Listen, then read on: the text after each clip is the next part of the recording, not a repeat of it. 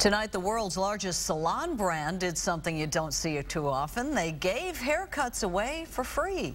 Tonight, Great Clips teamed up with WKDF for a fundraising event called Nite For Kids.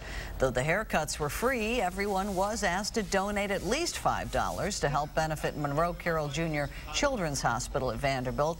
And to kick it off, there he is, KDF's Jack Shell, who shaved his head Yeah. live on the air.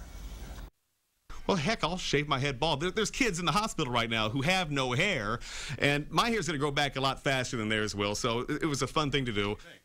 In just four hours, by the way, that fundraiser raised more than $5,000. He looks good like that, though. Yeah, that may be a good look. Yeah.